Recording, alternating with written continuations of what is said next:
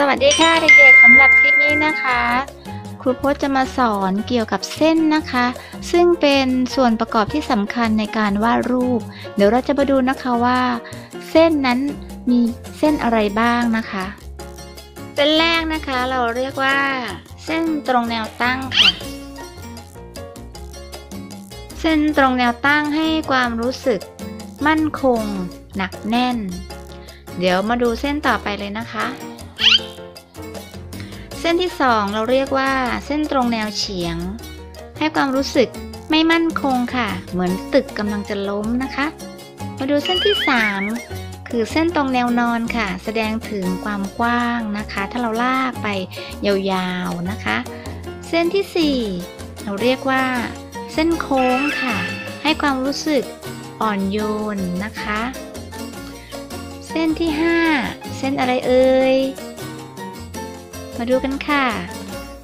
หมุนหมุนหมุนหมุนเราเรียกว่าเส้นขดก้นหอยนะคะ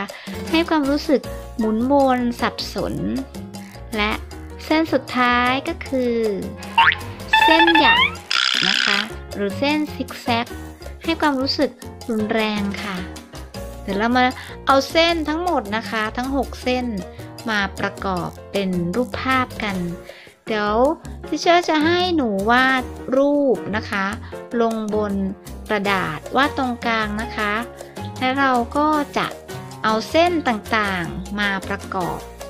ในรูปของเรา แบบนี้นะคะครูพจน์กำลังวาด รูปอะไรเอ่ยใครรู้บ้าง เส้นโค้งแล้วก็เส้นหยักต่อจากนั้นก็จะเอาเส้นขดก้นหอยนะคะ มาวาดเป็น ลูกตา ก็จะเอาเส้นโค้งนะคะ แล้วก็เส้นขดก้นหอยตรงปลายมาวาดเป็นผมค่ะ แล้วก็จะทำไปเรื่อยๆนะคะ ใครอยากจะเปลี่ยนสีก็เปลี่ยนได้เลย นึกออกหรือยังคะเด็กๆว่าจะวาดรูปอะไรกัน เราจะเอาเส้นนะคะ ที่เราเรียนกันทั้งหมด 6 เส้น มาวาดลงบนรูปที่เรานึกเอาไว้นะคะ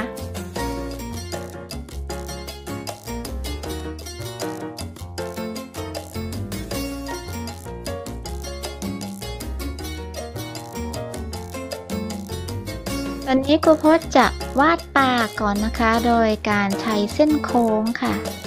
เลือกสีแดงนะคะเพราะน้องเป็นผู้หญิง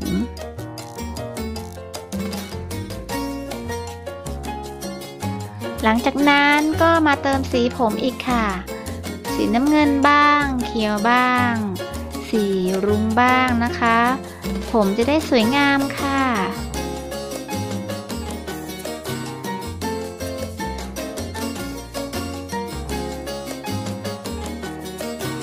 เดี๋ยวเราจะมาใส่เสื้อให้น้องก่อนนะคะ ใส่แบบให้น้องเป็นเจ้าหญิงเลยดีกว่านะกระโปรง ยาวๆนะคะ เสื้อก็แขนบานๆนี่ยังเป็นเสื้อสีรุ้งก่อนนะคะ เพราะมันสวยดี เติมไปเรื่อยๆค่ะ ใครจะวาดรูปอะไรก็วาดเลยนะคะ ใครจะเอาสีอะไรก็ใช้ได้เลยค่ะ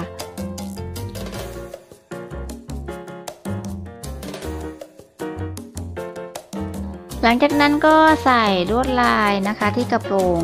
เอาเส้นที่เราเรียนมาทั้ง 6 เส้นนะคะ มาใส่ได้เลยค่ะตามช่องว่างต่างๆนะคะ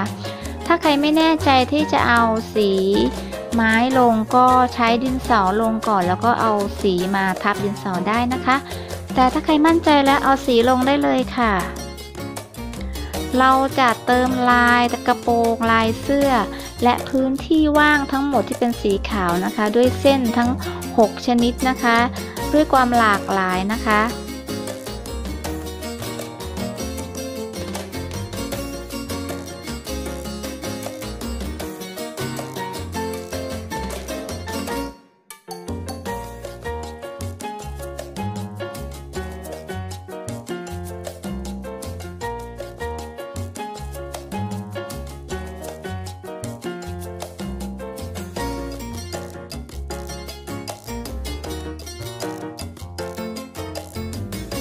เราสามารถเติมเส้นไปได้ทุกที่เลยนะคะ ที่เป็นพื้นที่ว่างค่ะ ช่องเล็กๆ เราก็เติมได้นะคะ จะเป็นเส้นตรงแนวนอนแนวเฉียงอะไรได้ทุกอย่างเลยนะคะ พอเราเติมกระโปรงแล้ว เดี๋ยวพื้นที่ว่างนะคะ ด้านข้างนี่เราก็ต้องเติมให้เต็มเลยนะคะ ครูพจน์อาจจะวาดไม่หมดนะคะ ก็ขอให้เด็กๆที่ดูนะคะ ก็วาดเส้น ส่วนประกอบต่างๆ ทั้ง 6 เส้นนะคะวาดให้เต็มรูปเลยนะคะวาดให้เต็มหน้ากระดาษของเราเลยนะคะ จะได้สวยงามค่ะ ถ้าวาดเสร็จแล้วก็อย่าลืมเอามาโชว์กันบ้างนะคะ